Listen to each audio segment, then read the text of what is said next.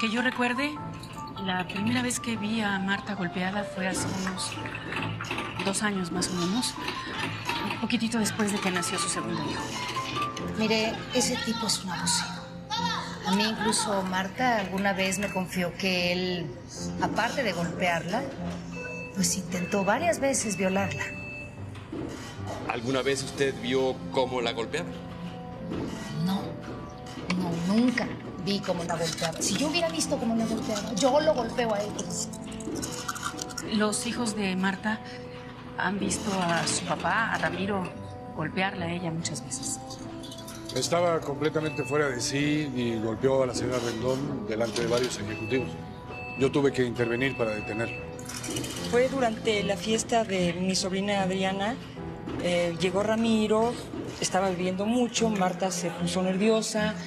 Yo vi muchas, muchas veces cómo llegaba Marta a su centro de trabajo golpeada. Sí, fue el Hotel Casa Azul. La fecha no la recuerdo. ¿Desde cuándo la conoce? Conozco a Marta desde hace varios años y lo que yo puedo decir de ella es que fue una mujer muy dulce, amorosa. ¿Tiene usted alguna otra prueba aparte de lo que la señora Rendón le contó? Bueno, ¿qué otra prueba que verla como... Una prueba física, algo más de simples dichos. Eh, una vez yo la encontré en su casa, encerrada, sin tener el- ella la llave y estaban sus hijos con ella adentro. ¿Tiene usted noticia que ella estuviera involucrada con alguien? Sí, o sea, éramos amigos, ¿no? Después del trabajo eh, nos relacionábamos como amigos y además éramos ¿Algo más que quiera declarar? Sí, quiero declarar que el tipo es un imbécil y un psicópata. Asentamos en actas que el señor es un imbécil y un psicópata. Si quiere usted añadir algo más. Nada más, señor. Perfecto. Gracias. Hace mucho tiempo que ni me escuchas, ni me miras, ni sabes realmente quién soy. ¿Verdad?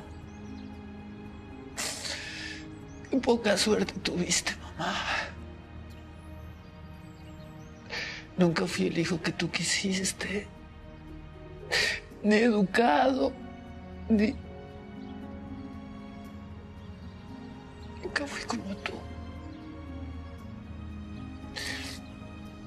Pero sí es cierto lo que me decías de que cuando te vayas para allá, arriba, me vas a ver desde allá.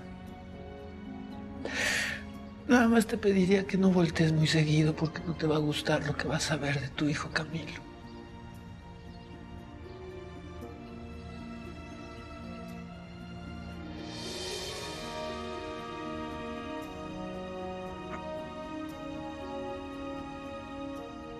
Voy a estar allá afuera, mamá.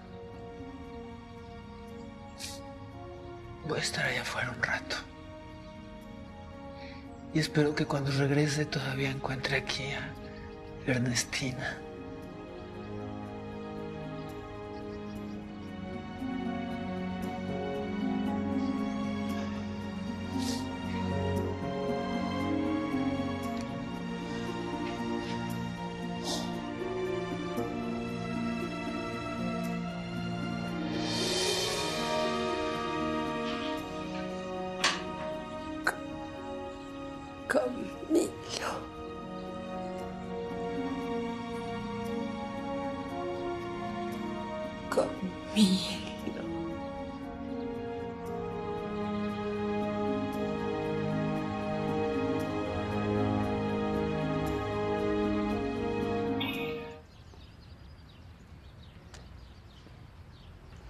Doctor, siento que está respirando mal, que no sé, a ver si la puedes revisar, por favor. No sé si es el oxígeno.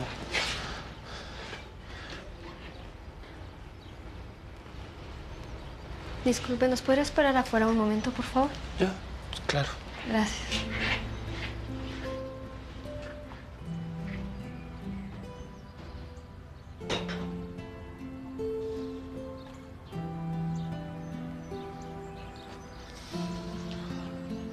Hola. Hola. ¿Qué tal?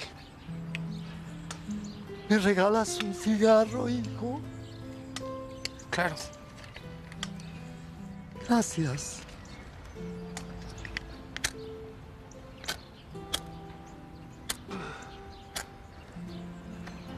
Así que yo se lo pido. Gracias. Gracias. ¿Tienes familia aquí? Sí. Soy hijo de Ernestina. ¿Cómo crees? Ernestina no tiene hijos. Eh, o por lo menos ya me, no me había contado que tenía uno. Viniste porque está malita, ¿verdad? Sí, lo que pasa es que mi mamá no habla. Ernestina, claro que habla. Somos cuatísimos. Prácticamente me sé su vida. ¿Cómo te llamas? Camilo. Yo tengo cinco hijos. Uno es licenciado, otro ingeniero, otro comerciante y dos niñas. Una se casó con un joyero, la otra se fue a Alemania. Entre todos me pagan el asilo. Pero nunca han venido a verme. ¿Tú qué crees que sea? No, no sé. ¿Quieres sentarse? Sí, gracias. Eh, pues no. ¿Cómo vas a saber eh, si tú sí tienes a tu madre o a la que crees que es tu madre? Porque Ernestina no tiene hijos. Me lo hubiera dicho. ¿La quieres? Sí. Claro que la quiero. Lo que pasa es que a lo mejor nunca se lo dije. O por lo menos cuando decidí hacerlo, ella ya no quería escuchar, ya no quería hablar. Ya había decidido morirse. ¿Lo ves? A los padres que queremos decirle algo a los hijos, nos dan hijos que no nos quieren escuchar ni ver. Y a las madres que nada tienen que decir, les dio hijos que sí quieren escuchar.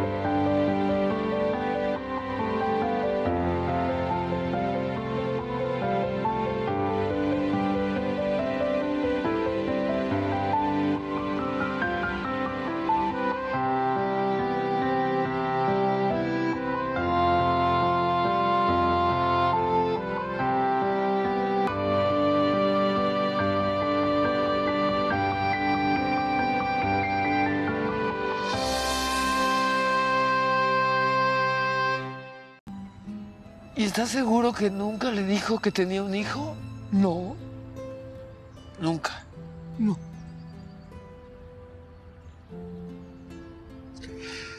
Ay, mi madre. Yo sí la quiero, ¿sabe? Sí la quiero. no vaya usted a creer que... Lo que pasa es que yo soy así. Nunca, nunca se lo supe decir, nunca le supe dar un abrazo.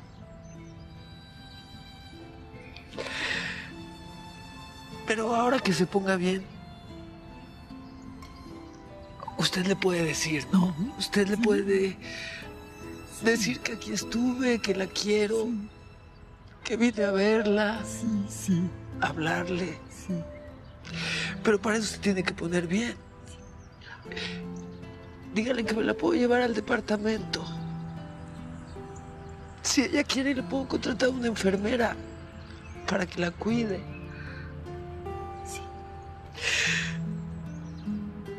Sí se lo va a decir, ¿verdad? Sí, sí.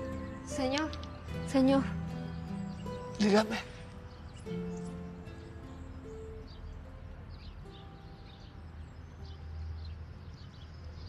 Mamá.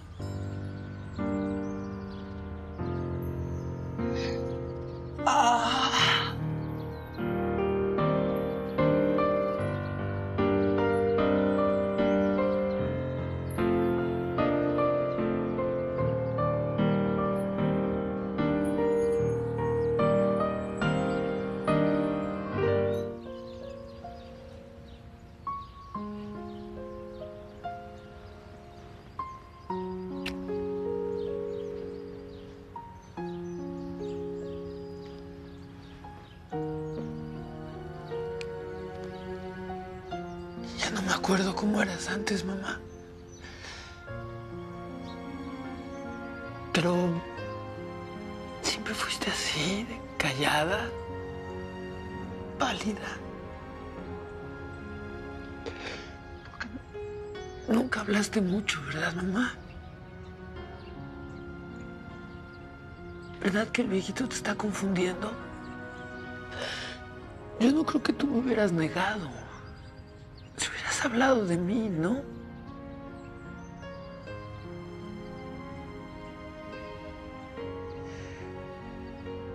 Ah, ahora, ¿cómo le voy a hacer, mamá? Estando tú el mundo era como más ligero, como más soportable. Cuando ya no me aguantaba yo a mí mismo, por lo menos venir que con un gesto, con una mirada me dijeras a dónde ir, qué. Hasta cuando le metí el plomazo, pues te me dijiste como... No te hubieras ido, mamá, te hubieras dejado. Eras lo único que valía la pena único bueno que tenía, mamá.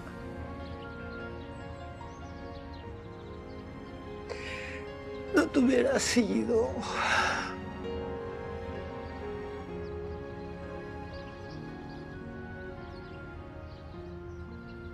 Señor, ¿a qué agencia funeraria vamos a llevarla? ¿A qué qué? ¿A qué agencia vamos a llevarla? A ninguna. Me quedo aquí toda la noche con ella. Yo mañana la llevo a enterrar.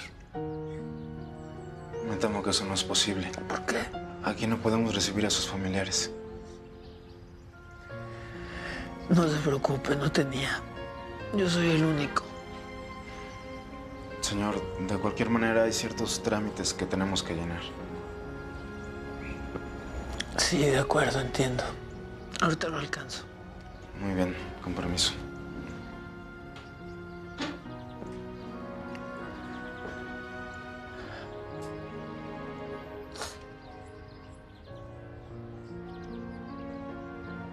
Ayudar a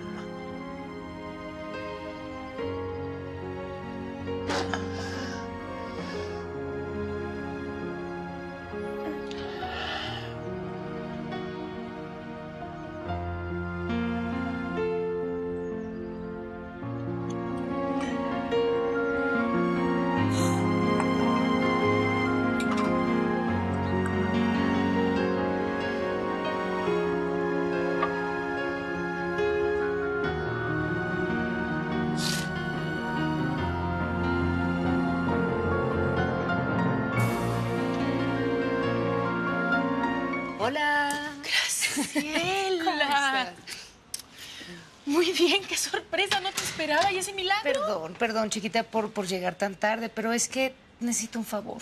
¿Qué? ¿Tienes algún problema? No, no, lo que pasa es que me habló el licenciado Rocha y quiere que vayamos a recoger unos documentos. ¿A estas horas? Sí, Carmen, queda lejísimos y no quiero ir muy sola. Acompáñame, por favor, ¿sí? Ay, pero es que yo ya estaba casi a punto de acostarme. Chiquita, ándale. ¿No, ¿no lo podemos dejar para mañana?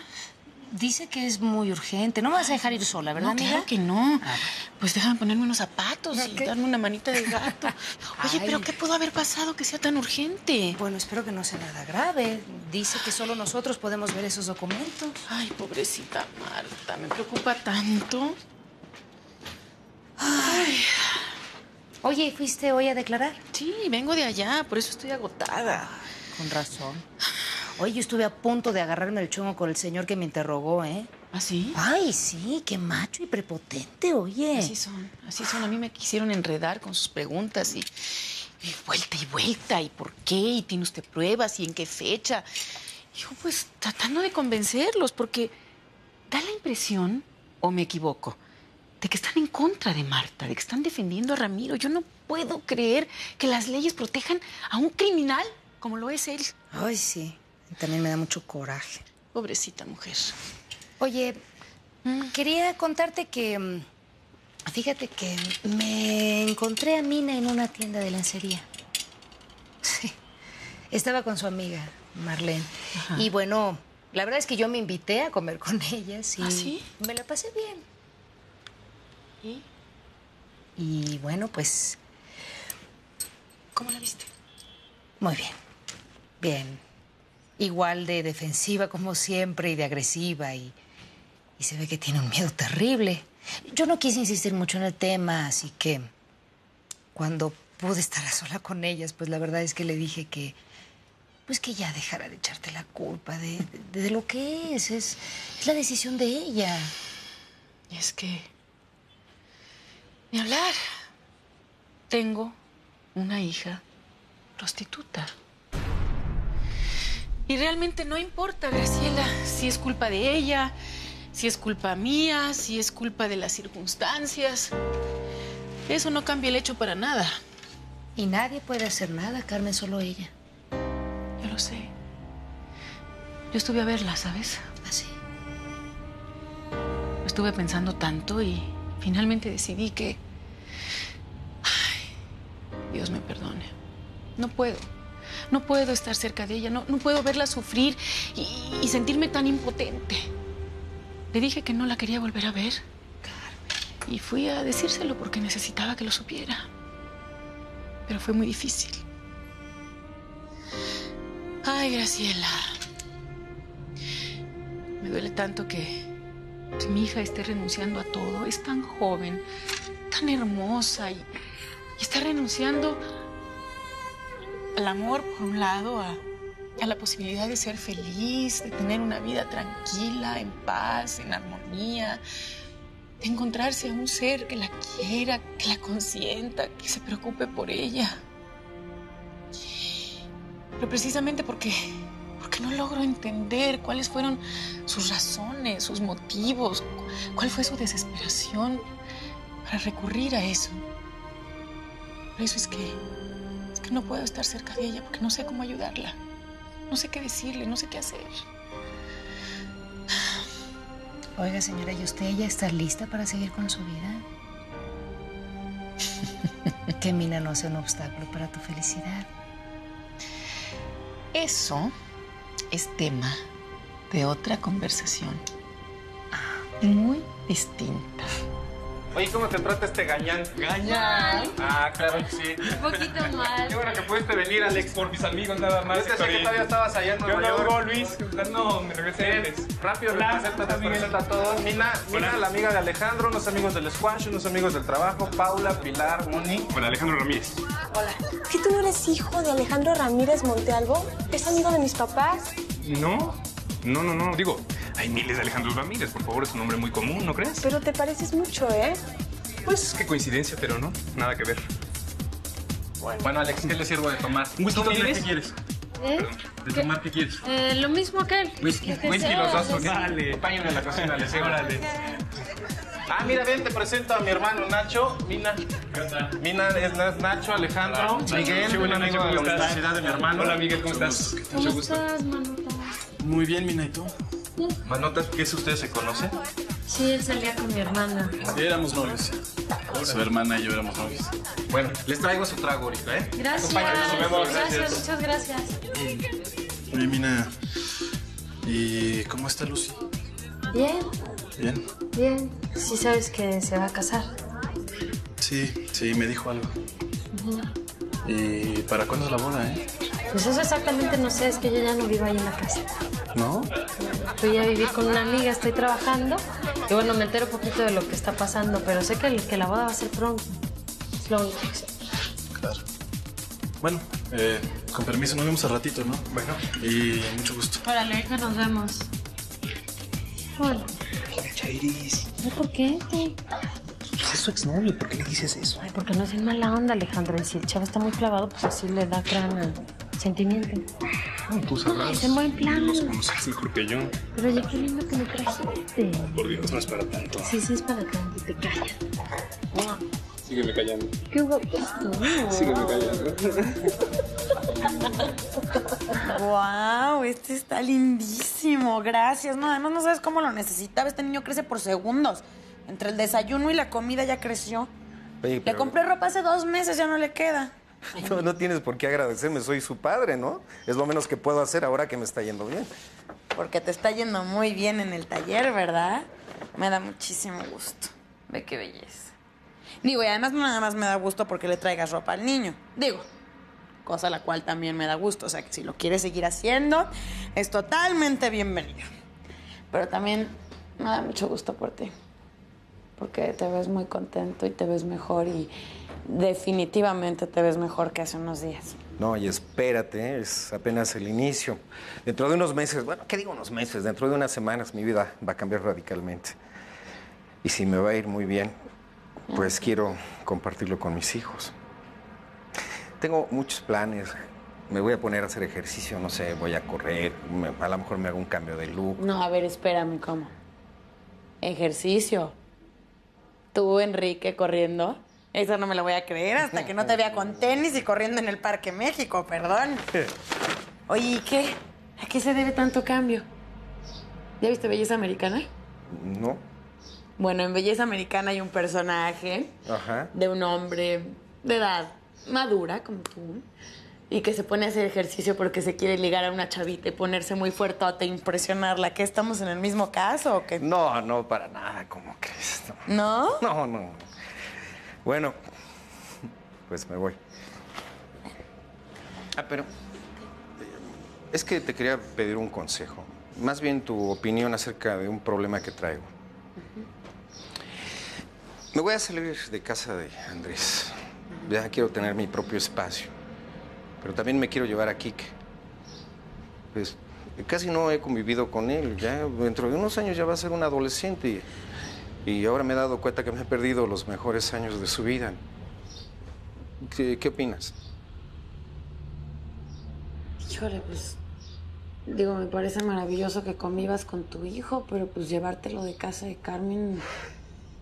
Pues no sé, yo creo que.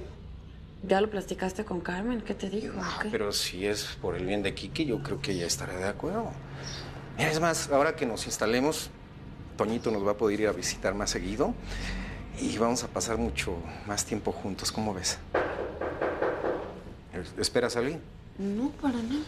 A ver. Voy. ¿Qué pasó, mi cabezón? Adelante, pásale. ¿Cómo estás, hijo? Bien. ¿Qué? ¿Viniendo a, a visitar a tu hermanito? Sí. Mira quién está aquí.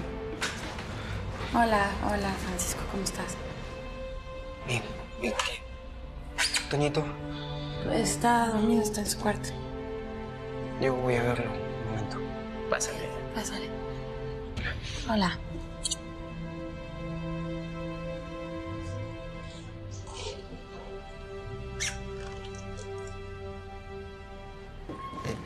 ¿Ya no me diste ¿Tu opinión?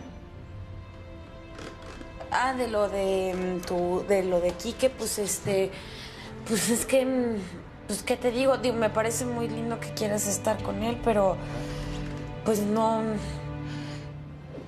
pues pienso que es algo que a lo mejor deberías platicar con Carmen primero, ¿no? Digo, me encantaría ser de más ayuda, pero pues no, no, no sé qué más decirte. Sí, tienes razón.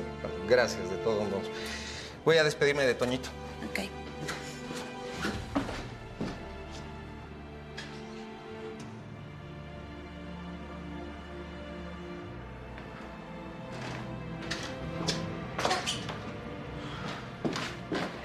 Cada día está despierto, este demonio. Nos vemos, mi rey. Oye, ay, échame la mano con Raquel, ¿no? Digo, hazlo por la felicidad de tu hermanito. Nos vemos. Venga esa mano. Oye, a ver. Oye, ya te está saliendo un pelo ahí, ya. Consíguete novia, ¿no? ¡Adiós, demonio! Nos vemos. Gracias por todo, ¿eh? No, no hay por qué. Nos vemos. Adiós.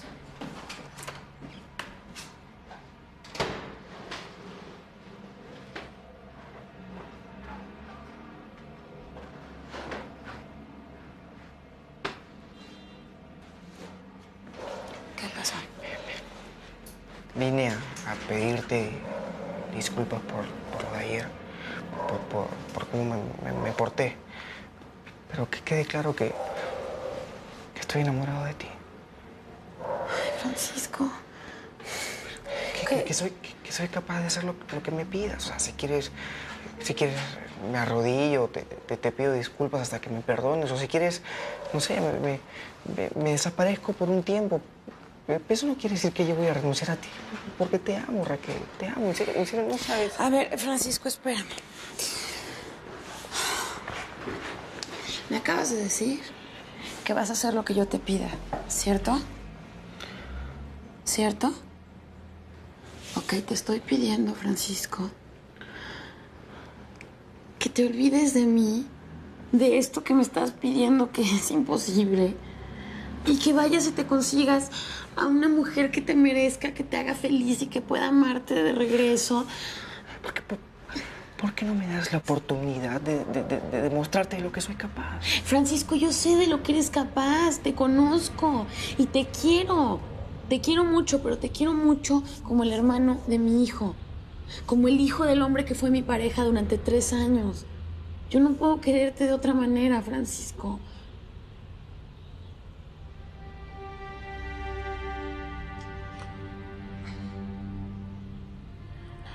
Déjame dormir con- con- contigo esta noche. Ay, so- so- solo esta noche. Y, si- y si, y si luego me dices que me vaya, yo. Yo me voy, te lo juro, te lo juro que me voy. No te vuelvo a molestar. Francisco, yo no te puedo. No, Francisco, espérame, no. Francisco, mira. Tienes que entender que lo que me estás pidiendo es imposible. Es tienes que pensar, Francisco, fui la pareja de tu papá tres años. Soy la mamá de tu medio hermano. ¿Y qué hago? Dime, dime, dime qué hago para olvidarte. ¿Qué, qué, qué hago? ¿Me arranco el corazón? ¿Me, me- me corto la cabeza para, para dejar de pensar en ti? ¿O, o- o no duermo para no soñar contigo? Bueno, Eso es lo que- Dime una cosa tú a mí. ¿Qué hago yo para no lastimarte?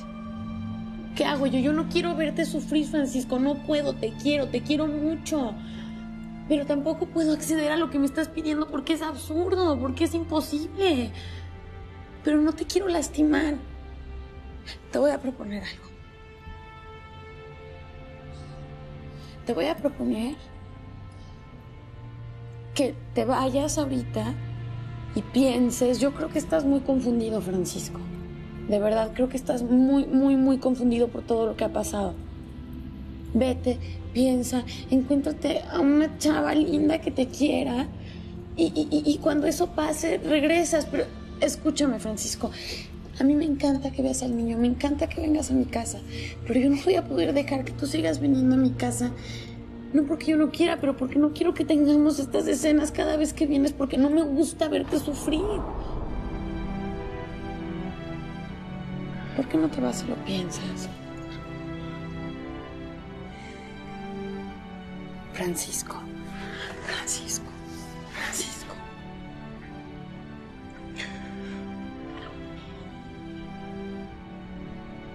Perdóname. No, perdóname tú.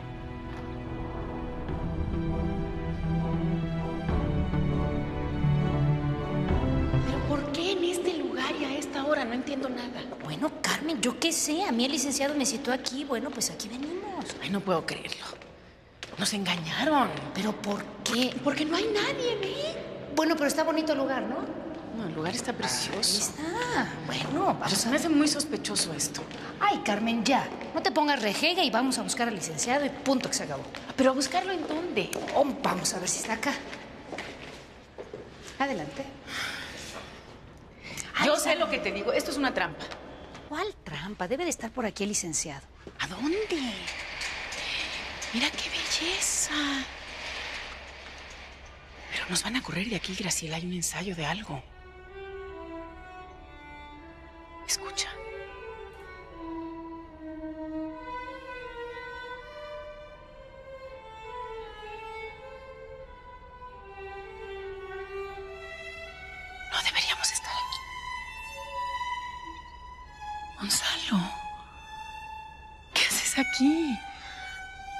Decir que esto es lo que pude conseguir en esta ciudad.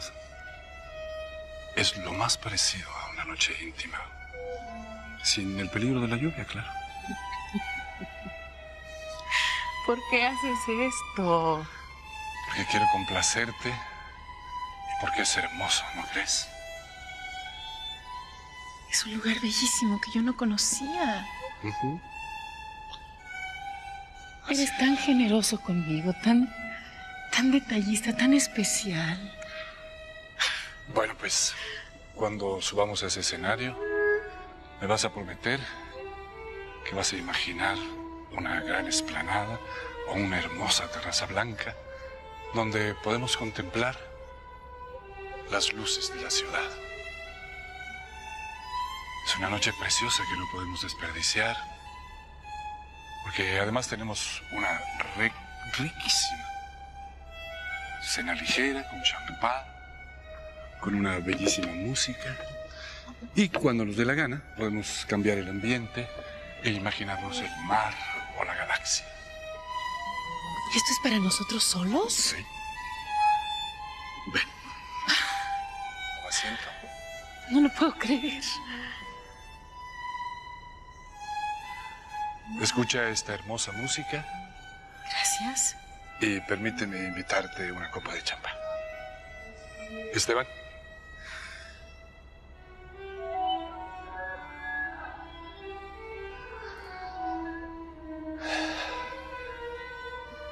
Buenas noches. La familia sabe que vas a llegar tarde porque le avisé a Lucía para que no te esperara. Piensas en todo tú. Y quiero que tú no pienses en nada. Que no pienses en nuestros problemas, ni en quiénes somos, ni en lo que podemos o no podemos. En nada, Carmen. Esta noche el mundo no existe. Es una pequeña tregua. Una de las pocas oportunidades que te debe la vida.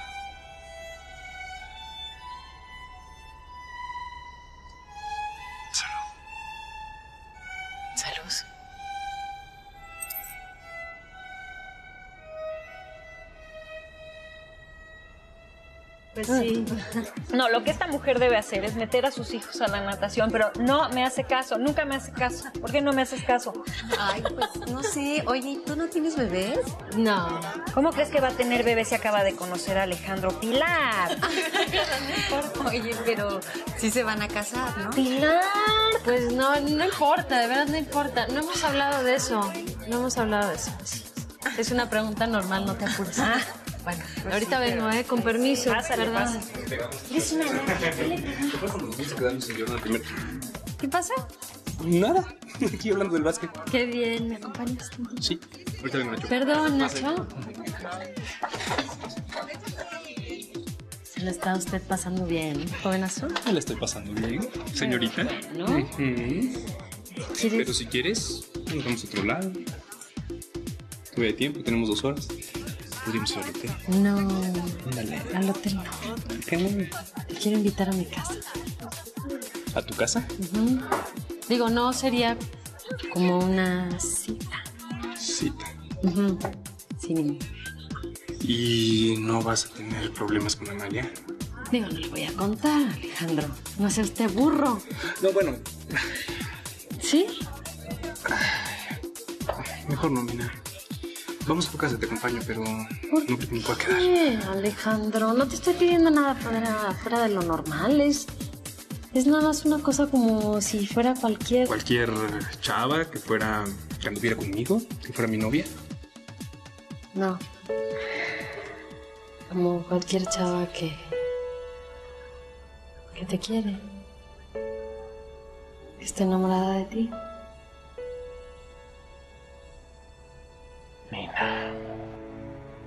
¿Sí? Vámonos a tu casa. Después no sé, pero vamos a tu casa. Déjame despedirme, déjame despedirme, déjame despedirme, déjame despedirme, déjame despedirme. Miguel, yo me voy. Que les vaya muy bien. Chao. Encantado de conocerlas.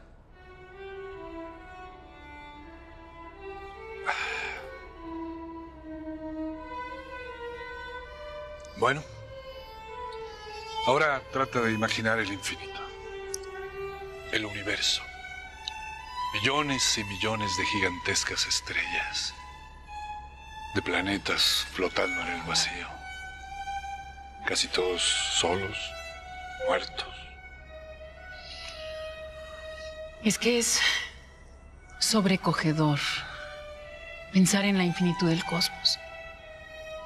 Bueno, pero imagínate que solo hay un mundo entre todos ellos, donde se dio el milagro de la vida, donde también hay millones y millones de seres humanos, como tú y como yo, que estamos aquí, quién sabe por qué razón, pero aquí estamos, cada uno con sus pequeños problemas, que obviamente resultan insignificantes ante el infinito. Y hay algunos de estos seres a los que además se les ha concedido el maravilloso milagro del amor.